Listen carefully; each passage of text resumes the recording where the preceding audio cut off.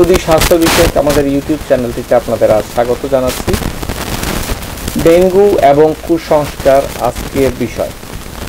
Dengue একটি ভাইরাসজনিত রোগ। এইডেস mosquito এইটিকে ছড়ায়। তো এইটি নিয়ে বাজারে বিভিন্ন ধরনের কুসংস্কার রয়েছে। আমি যেই কুসংস্কারগুলোকে দৈনন্দিন দেখি, সেগুলো নিয়ে আজকে কথা বলব। প্রথমেই বলি, এটি একটি ভাইরাসজনিত রোগ। যদি কোনো পার্শ্ব প্রতিক্রিয়া বা কমপ্লিকেশন না হয়, এইটি স্বাভাবিকভাবেই সাত দিনের মধ্যে চলে যাওয়ার কথা রয়েছে।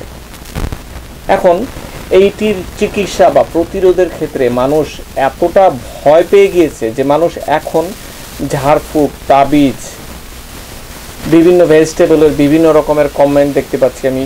সোশ্যাল মিডিয়াতে যেমন পেঁপের রস খেলে ডেঙ্গু হবে না, পেঁপে খেলে ডেঙ্গু হবে না, পেঁপের পাতা খেলে এটা হবে না, করলার পাতা খেলে সেটা হবে না।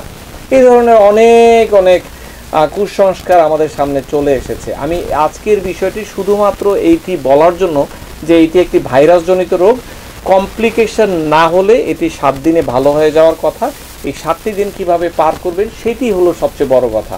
আর এই সময়ে আপনার চিকিৎসকই হতে পারে আপনার জন্য সর্বোত্তম বন্ধু।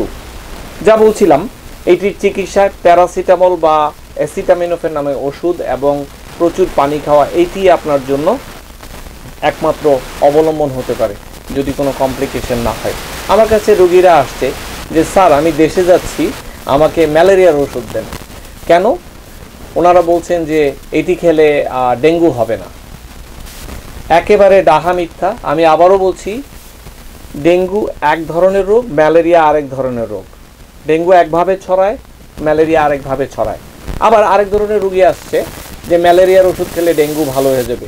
আমি আবারও বলছি, ডেঙ্গু চিকিৎসা হিসেবে এমন কোনো ঔষধ এখনও পর্যন্ত বাহির হয়নি। পরিষ্কারভাবে বলছি, ডেঙ্গুর চিকিৎসা শুধুমাত্র সময়টি পার করা সুস্থভাবে।